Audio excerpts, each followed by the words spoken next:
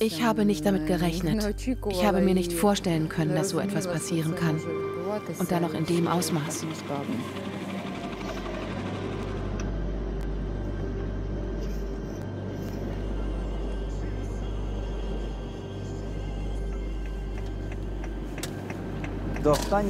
Bis zuletzt wollte ich es nicht glauben. Ich dachte, das sei das übliche Säbelrasseln. Und daher waren weder ich noch meine Familie vorbereitet auf das, was da kam.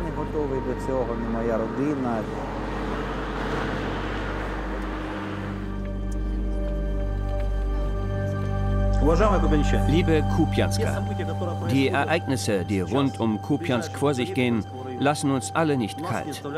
In der Stadt herrscht eine Menge Panik. Hört auf mich, keine Panik. Wir müssen jetzt Disziplin bewahren und einen kühlen Kopf behalten.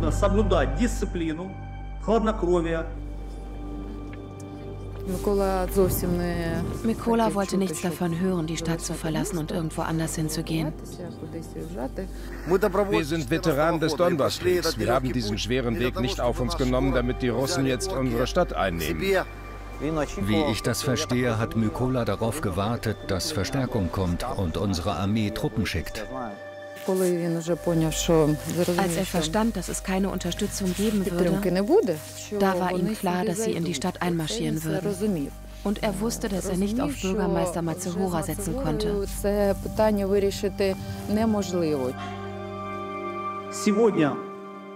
Heute um 7.30 Uhr kam ein Anruf vom Kommandeur der russischen Truppen. Er schlug Verhandlungen vor. Ansonsten würden sie die Stadt stürmen, mit allen Konsequenzen. Ich habe mich entschlossen, das Verhandlungsangebot anzunehmen, um menschliche Opfer und Zerstörung zu vermeiden. Wir haben über die Pläne des Militärs gesprochen, in die Stadt vorzurücken.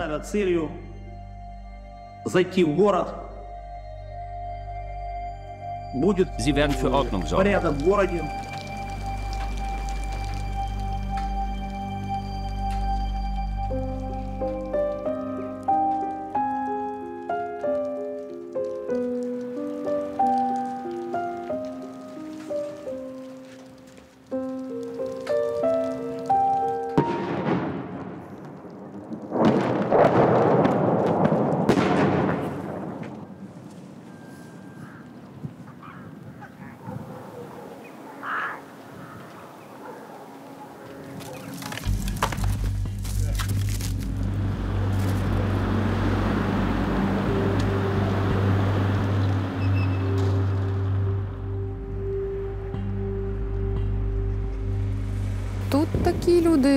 hier sind fleißig und bescheiden.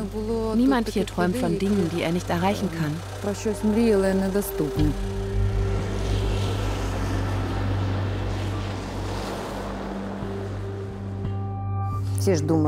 Jeder denkt nur, weil die Stadt an der Peripherie liegt, kann hier jeder machen, was er will. Und dann kommt Gott weiß wer hierher und fängt an, die russische Welt anzupreisen.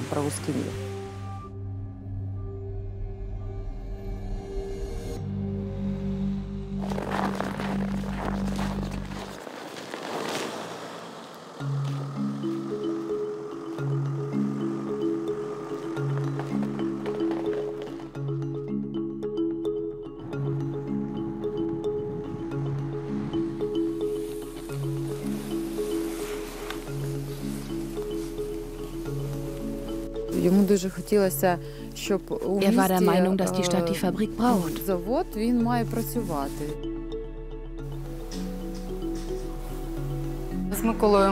Ich habe Mykola während der Wahlen kennengelernt. Mein Arbeitsplatz lag in seinem Wahlkreis und wir haben uns über den Job kennengelernt. Später haben wir uns getroffen und sind Freunde geworden. So würde ich es ausdrücken.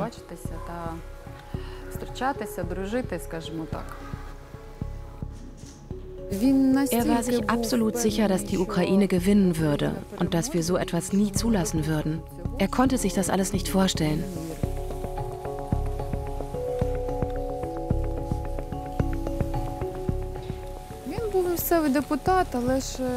Er war Mitglied im Stadtrat. Aber er war ein Mann des Volkes, kein abgeschotteter Parlamentarier oder Bürokrat.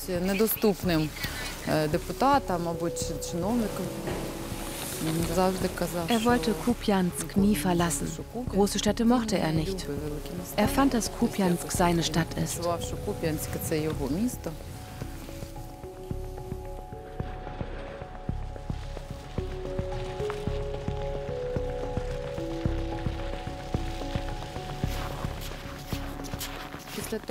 Nachdem die Stadt den Russen ausgeliefert wurde, war er sehr geknickt. Er verstand, dass es vorbei ist.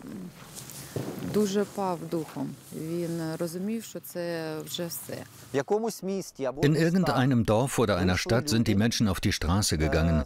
Sie haben sich den Russen entgegengestellt und die sind dann wieder abgezogen. Er hat davon geträumt, so etwas auf die Beine zu stellen.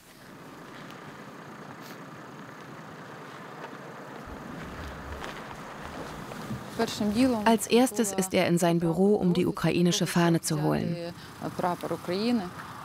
Er wollte sie hissen.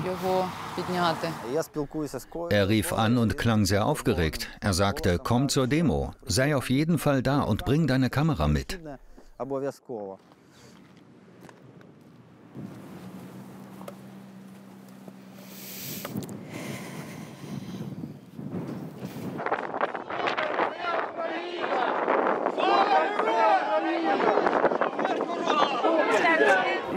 Die Menschen kamen aus den Kellern. Verstehen Sie, was im Kopf von jemandem vorgeht, der vier Tage im Keller gesessen hat? Und jetzt waren wir alle auf der Straße.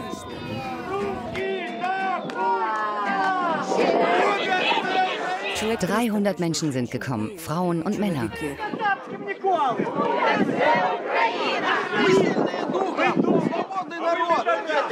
Putin задрал!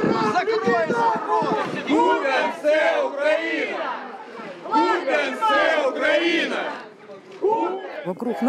Um uns herum standen sie mit Maschinengewehren. Da und da und da hinten mit Autos.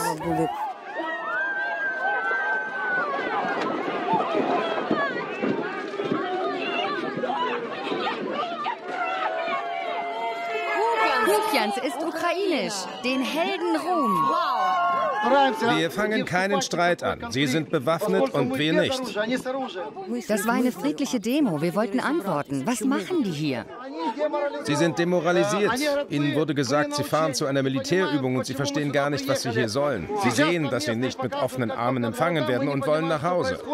Wir haben noch nicht geglaubt, dass sie gekommen sind, um Ukrainer im ganzen Land umzubringen. Schreibt in alle Chatgruppen, dass wir jetzt runtergehen.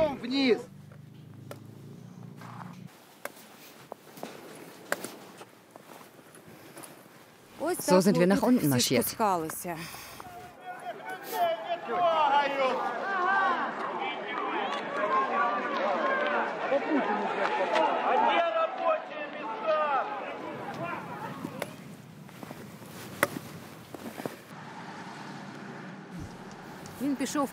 Er ist vorangegangen. Und als wir angekommen sind, standen die russischen Soldaten da vorne in der Gasse.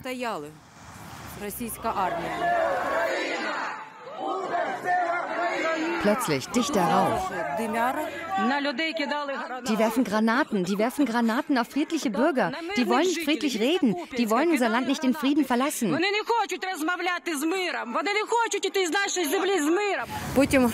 Als der Rauch sich verzogen hatte, haben wir gesehen, dass Mikola weg ist.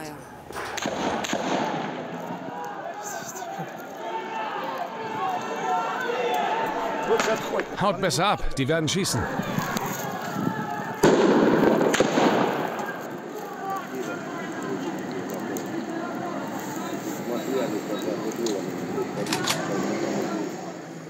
Sie wussten, wenn sie Masli mitnehmen, beruhigen sich die Leute. Und so kam es auch.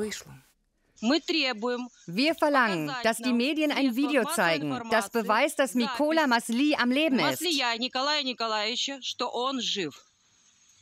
Освободите Маслия! Освободите Маслия! Освободите!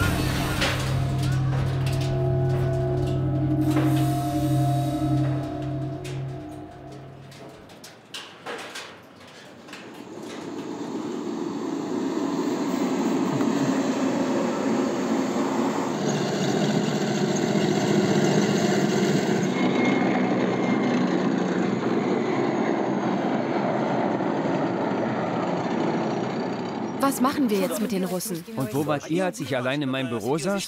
Das Rekrutierungsbüro war zu. Viele wollten kämpfen, aber man konnte sich nirgends melden. Ich bin auch hingegangen. Uns haben sie auch keine Waffen gegeben, nicht ein einziges Maschinengewehr. Stattdessen habe ich alleine im Rathaus gesessen. Da waren sonst nur ein paar Weiber. Ich war morgens da, tagsüber, abends, nachts. Und dann bin ich alleine zu den Russen gegangen. Nur eine Frau ist mitgekommen.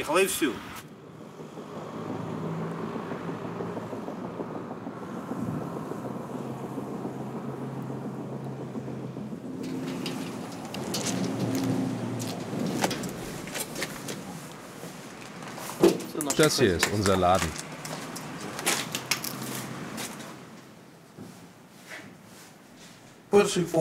Im Erdgeschoss war die Bezirksverwaltung, im ersten und zweiten Stock der Stadtrat.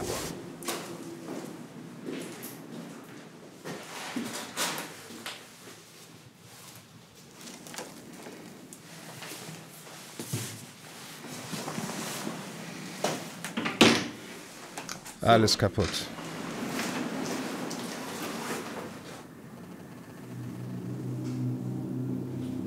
Das hier war mein Büro.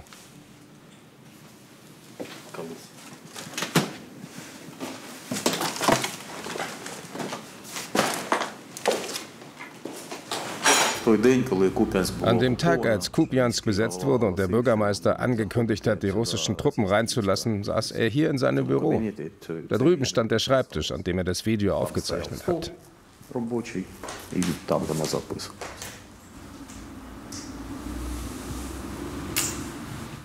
Es ist meine Entscheidung. Ich trage die Verantwortung für alles, was in der Stadt passiert. Das war sein Fehler.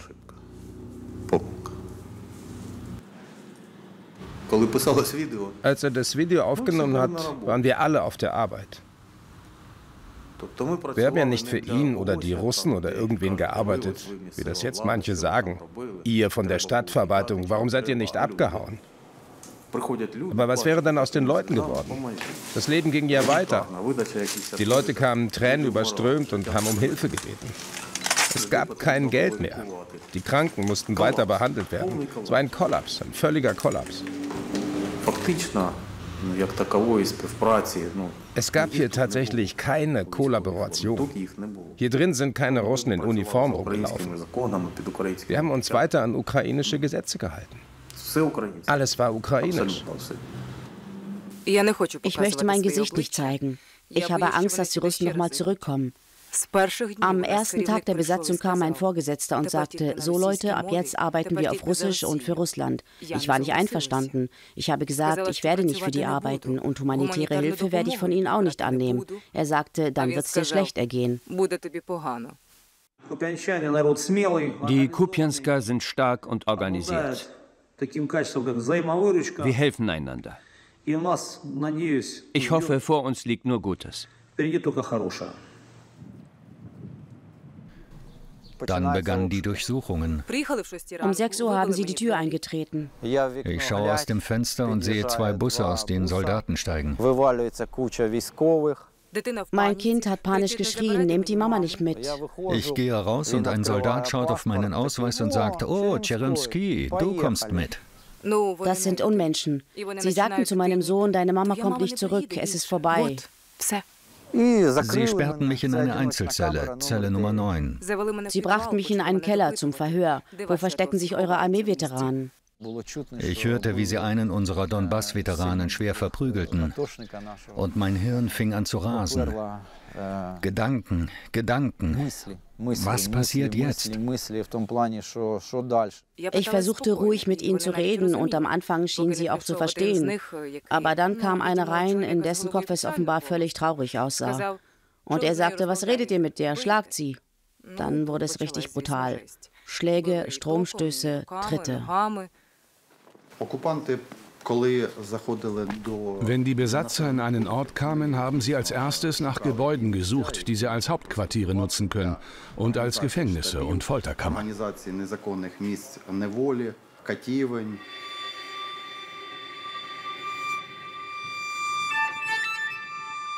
Die größte Folterkammer war im Polizeihauptquartier. Hier hatten sie beste Bedingungen, um Leute einzusperren. Deshalb saßen hier die meisten.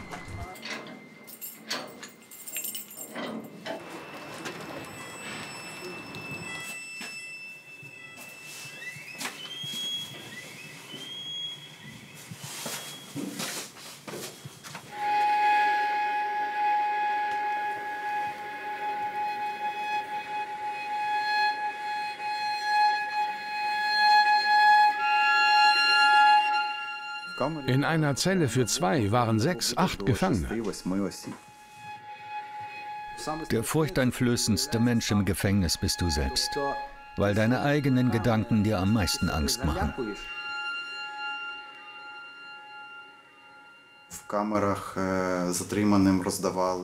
Die Insassen bekamen Ausdrucke mit der Hymne der Russischen Föderation und sowjetischen patriotischen Liedern, die sie auswendig lernen und singen mussten.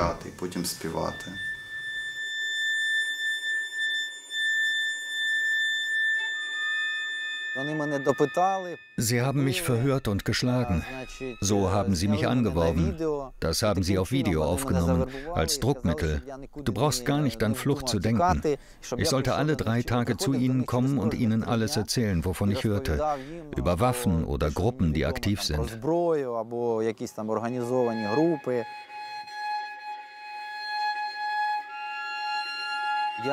Ich habe niemanden verraten. Ich wusste bereits, wer aus der Stadt geflohen war, und deren Namen habe ich ihnen gegeben. Nur solche, von denen ich mit Sicherheit wusste, dass sie die Stadt verlassen haben.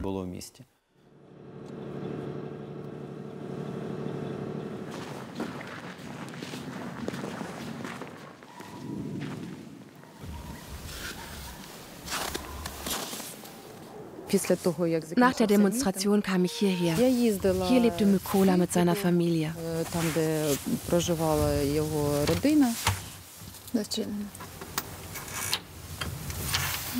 Zu. Hallo Freundchen. So viele Emotionen. Wir sind zu dem Checkpoint gegangen, wo sie ihn mitgenommen haben. Dort fragten wir die Soldaten, ob wir einige persönliche Dinge für ihn übergeben können und seine Medikamente. Und sie haben gesagt, ja, wir sollen alles am nächsten Tag vorbeibringen. Aber als wir mit den Sachen am nächsten Tag gekommen sind, haben sie nichts angenommen und gesagt, er sei weggebracht worden. Mikolas Buchhaltung.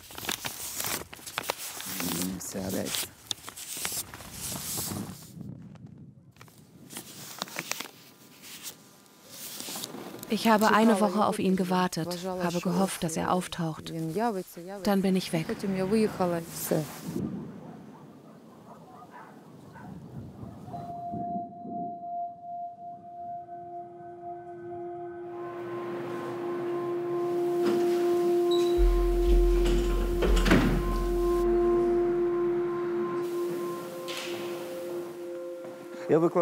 Ich habe Informatik unterrichtet. Technik, das ist sowas wie Werkunterricht und außerdem Elektronik und Geografie.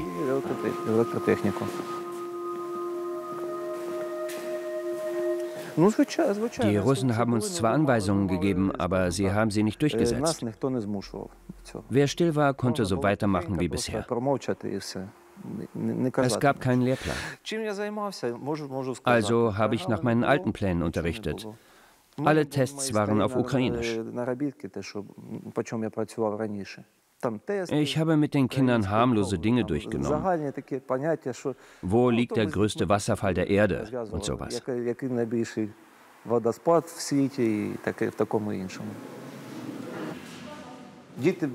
Ich fragte die Schüler, wie wollen wir es halten, ukrainisch oder russisch?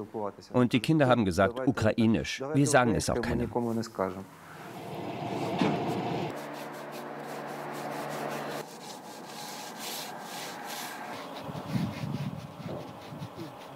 Ist das nicht hübsch?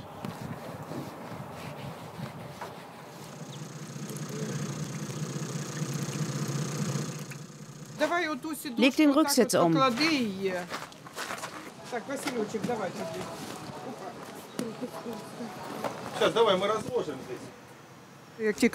Gleich als sie wieder Leute reingelassen haben, sind wir nach Kupjansk gefahren. Da kannten wir noch niemanden. Hier eine Kiste Reis? Ja, eine für jeden.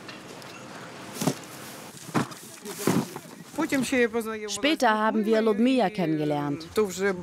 Jetzt kennen wir uns besser aus.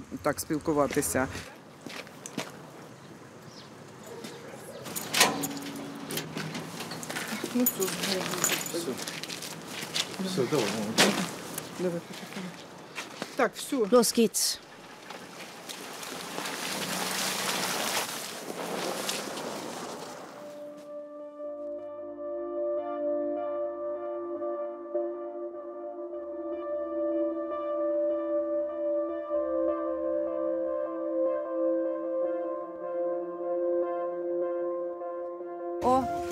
Da kommen meine Leute, die Freiwilligen. Ludmila, wir fahren nach Kivsharivka. Wir haben einen Ofen dabei und Lebensmittel. Wir fahren zu Vater Leonid. Setz eine Mütze auf. Klar, eine Mütze, das ist das Wichtigste.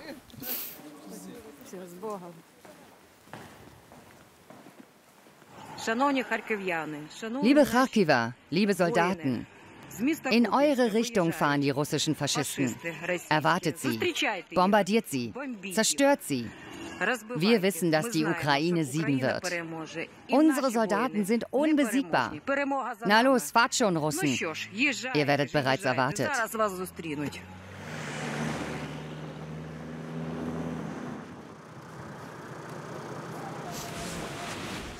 Was ist mit dir passiert? Luftalarm um 7 Uhr morgens. Ich war Milch holen. Dann bin ich losgerannt. Meine Tochter war zu Hause im vierten Stock. Ich also zu ihr. Es war glatt. Neuschnee. Ausgerutscht. Und jetzt habe ich ein Gipsbein.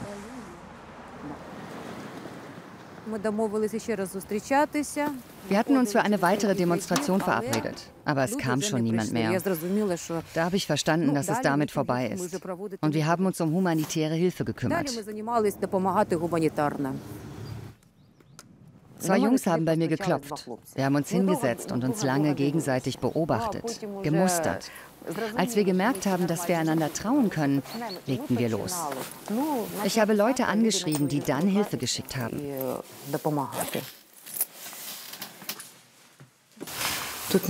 Hier war nicht geheizt. Ein paar Pflanzen sind eingegangen.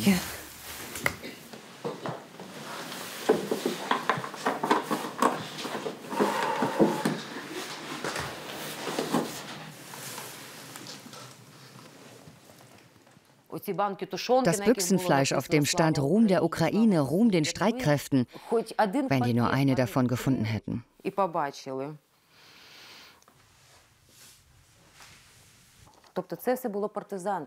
Wir waren wie Partisanen. Für uns war das eine Botschaft, die wir den Menschen überbracht haben. Sie sollten die Stimme der Ukraine hören, dass sie nicht vergessen sind, dass wir zusammenstehen. Das war uns wichtig.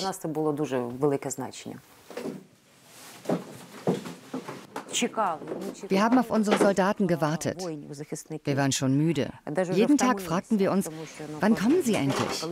Aber langsam verstanden wir, dass schon viele Russen vor Ort sind. Dass das hier ein Schlachtfest wird. Mein Mann hat gesagt, bring dich und unsere Tochter in Sicherheit.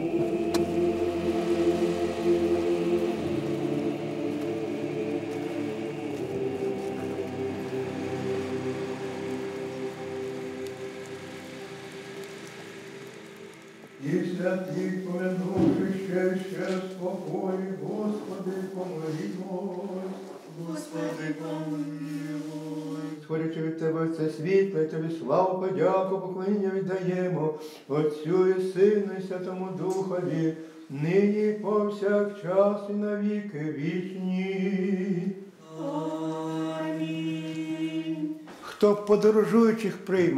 Der Reisende beherbergt, Flüchtlinge, die die Orte des Grauens verlassen haben, wo Leben unmöglich geworden ist, die kein Geld haben und manchmal auch keine Dokumente mehr, Wer sie aufnimmt, der wird Gottes Reich erleben. Lasst uns hoffen, dass wir noch genug Verlangen nach dem Guten haben, dass wir nicht nur überleben, sondern auch siegen wollen. Ruhm Jesus Christus, möge Gott mit uns sein. Die Okkupation war schwer, moralisch schwer.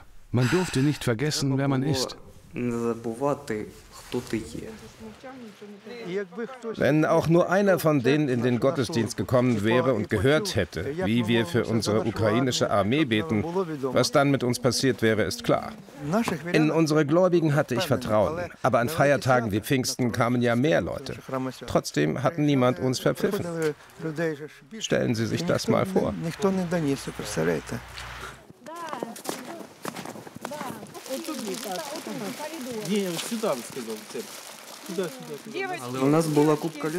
Es gab eine Gruppe Leute, die weiterkämpften und zum Gottesdienst kamen.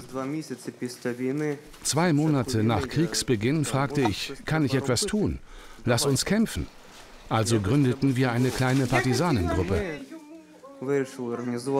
Jede Woche trafen wir uns nach dem Gottesdienst und planten unsere Aktionen.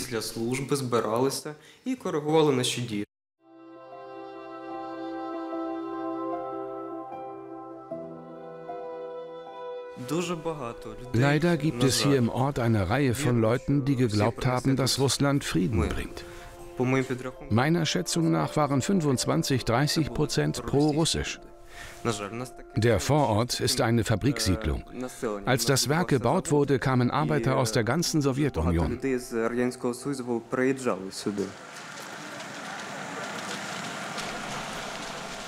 Was konnten wir tun? Auf den Straßen liefen bewaffnete Soldaten rum. Wir nutzten das, was wir hatten, und das war ein Drucker.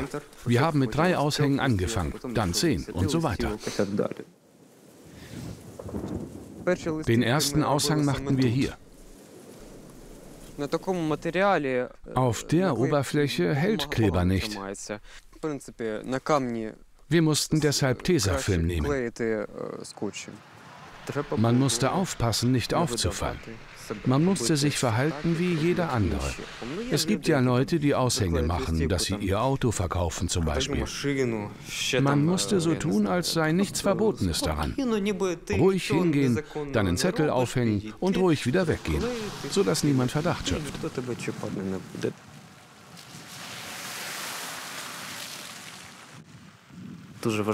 Wichtig war, die Koordinaten der russischen Truppen weiterzugeben. Das war für die Kharkiv-Offensive wichtig. Gott ist mein Zeuge, dass ich getan habe, was ich konnte. Ich weiß nicht, wie groß mein Einfluss war, aber es ist Krieg. Und in Krieg fließt jede noch so kleine Tat wie ein Tropfen in einen rauschenden Wasserfall.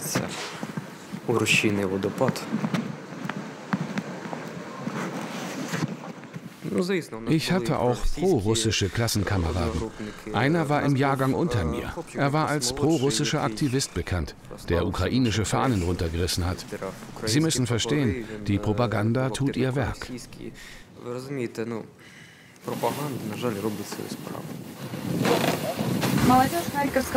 Die Jugend der Region Kharkiv zerstört die Symbole der Nazi-Ukraine, weil sie sie nicht mehr in ihrer Stadt sehen wollen.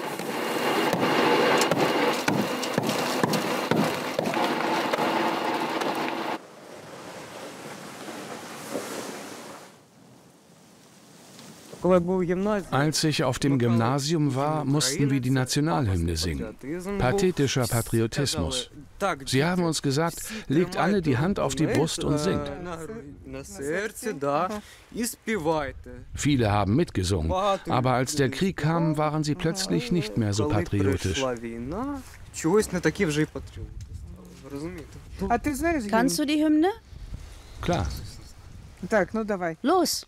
Ще не Україні слава, ні доля. Ще нам, браття українці, усміхнеться доля. Згинуть наші вороженьки, як роса на сонці. Пожалуйста. Bitte. Сейчас вам все еще пораздаем.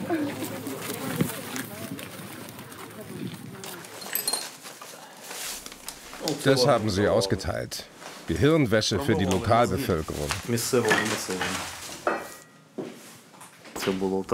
Es war Mai. Ich habe versucht, meine Familie anzurufen. Die Verbindung war sehr schlecht. Ich bin abends rausgegangen, um Empfang zu suchen. Da haben sie mich verhaftet. Angeblich wegen Verletzung der Sperrstunde.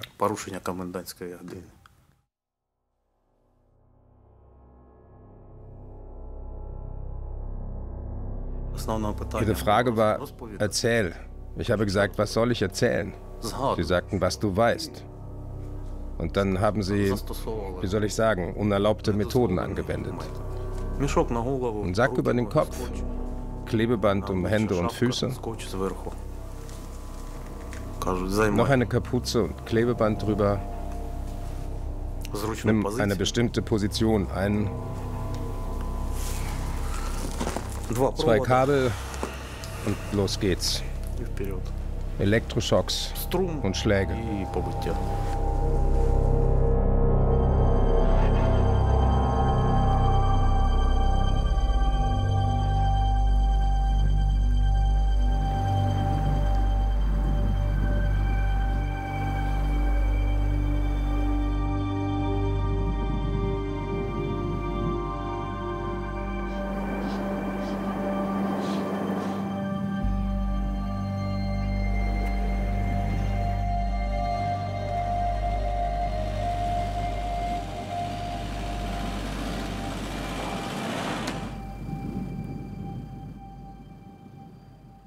Der Vorsitzende der provisorischen zivil-militärischen Verwaltung für die Region Kharkiv unter Führung der russischen Armee wurde bekannt gegeben.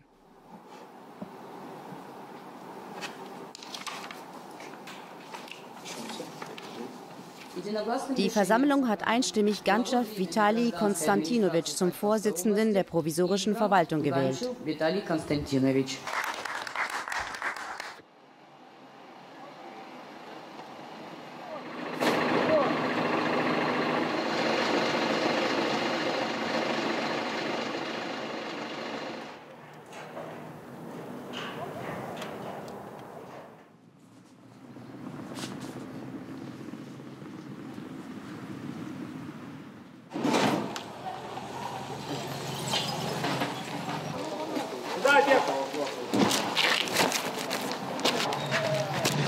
Das Bildungssystem ist im Aufwind. Ich kann Ihnen klar sagen, dass es sich mit Hilfe der Russischen Föderation von seinen Knien erheben wird, auf denen es lag unter der Ukraine.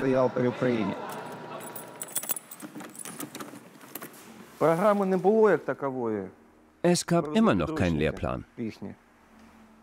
Aber sie brachten Schulbücher, frisch aus der Druckerpresse, als ob sie schnell etwas zusammengeschustert hätten. Ich schlug das Geografiebuch für die achte Klasse auf, schaute rein und sagte, das unterrichte ich nicht. In Absatz 3 stand, am 21. Februar unterzeichnete Putin das Gesetz zur Anerkennung der Volksrepubliken Donetsk und Luhansk. Das soll ich unterrichten? Nein. So endete mein Lehrerjob.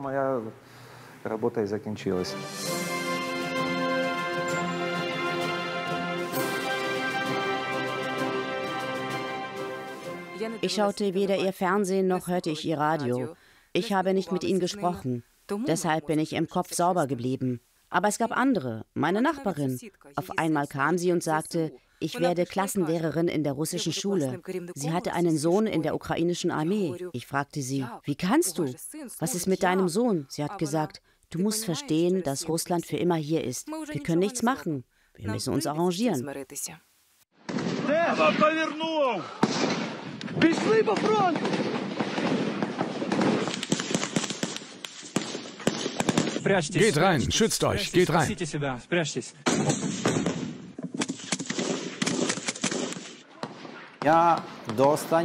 Bis zum letzten Moment, bis ich die ukrainischen Soldaten nicht mit eigenen Augen leibhaftig sah, habe ich nicht an die Befreiung geglaubt.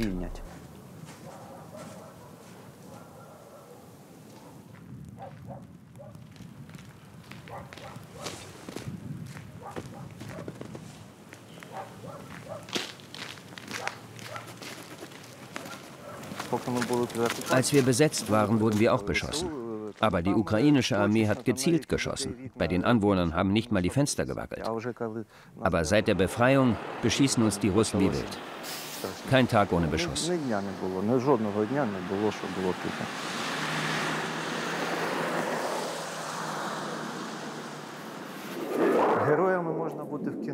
Held kann man im Kino sein. Im Leben ist das komplizierter. Und es macht Angst. Die Menschen mussten ja überleben. Diejenigen, die abgehauen sind, können leicht anklagen. Sie haben das hier alles zurückgelassen. Aber Sie sollen mal versuchen, so zu leben wie die Leute hier. Die Angst, die wir jeden Tag gespürt haben, hält nicht jeder aus. Das Leben hat uns gezeigt, wer wer ist.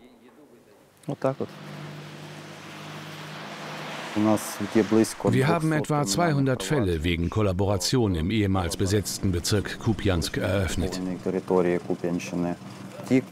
Und wer vielleicht noch nicht ins Visier der Ermittlungsbehörden geraten ist, muss wissen, dass auch er an die Reihe kommt.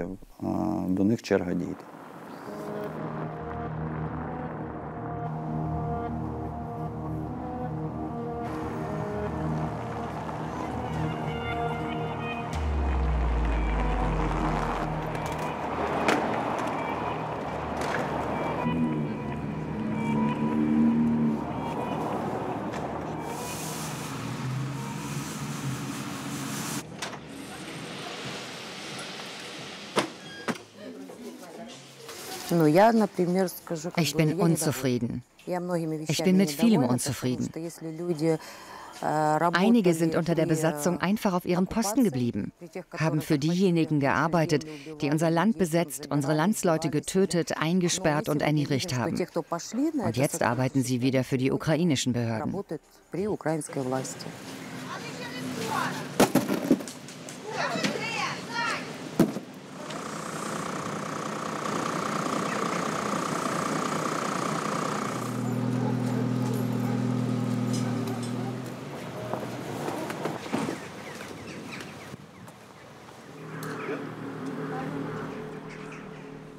Wir haben kaum noch Personal. Vor allem Spezialisten fehlen, die die Arbeiten kompetent ausführen könnten. Leider kommen die Flüchtlinge noch nicht wieder zurück.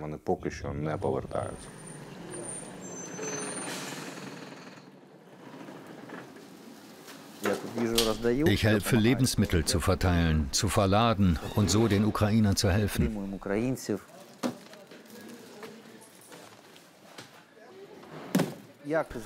Als die ukrainische Armee kam, wusste ich, dass man mir Fragen stellen würde.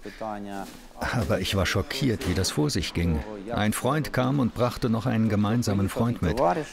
Alles Freunde von Mykola. Aber mit ihnen kam noch ein Soldat, ein stämmiger Mann. Der hat ohne Erklärung sofort zugeschlagen, ins Gesicht und aufs Auge. Er hat gesagt, du bist ein kleinmütiger Mann. Wenn du schon nicht fliehen konntest, hättest du dich erschießen müssen. Es ist sehr unangenehm, wenn diejenigen dich schlagen, auf die du gewartet hast.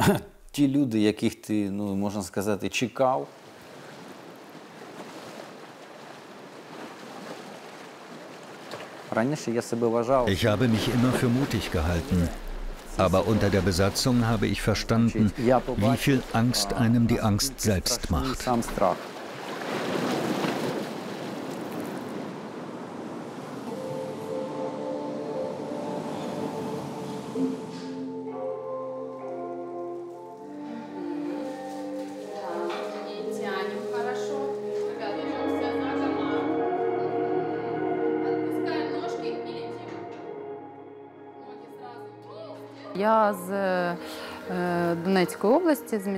Ich komme aus dem Donbass, aus der Stadt Horlivka. Als der Krieg dort 2014 begann, bin ich in die Gegend von Kharkiv gezogen. Jetzt musste ich wieder fliehen. Aber diesmal ist es viel schwerer als damals. So viel ist mit diesem Krieg verbunden.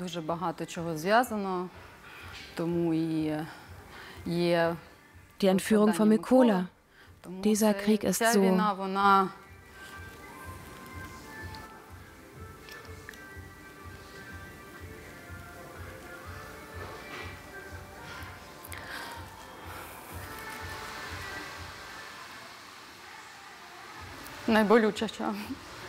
Ist so viel schmerzlicher.